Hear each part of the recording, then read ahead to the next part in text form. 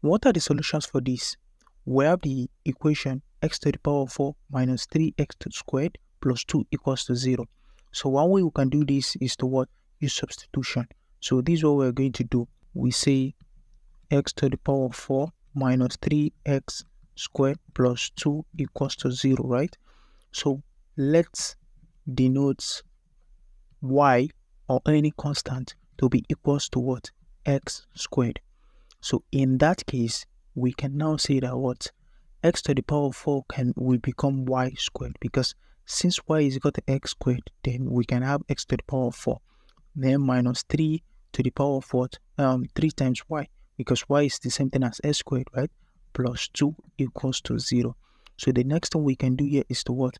Apply um, factorization, right?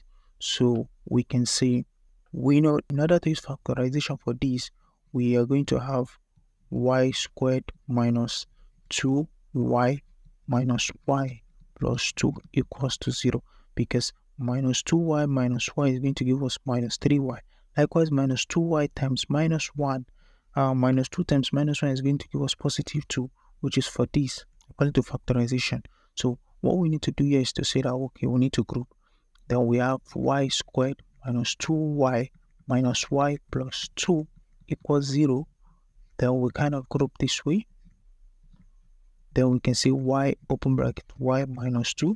We kind of factor out y out of this. And the second will be minus 1 open bracket y minus 2 equals to 0 we end up having y minus 1 which is the value here and value here right so this y minus 1 it's we're gonna have that out and we'll pick one of these brackets right so we have y minus 2 equals to 0 now we can say that y minus 1 equals to 0 and the y minus 2 equals to 0 therefore y equals to 1 and y equals to 2 since we already know that y equals to x squared. Therefore, right, x equals to square root of y, right? So we shouldn't forget what the plus or minus sign.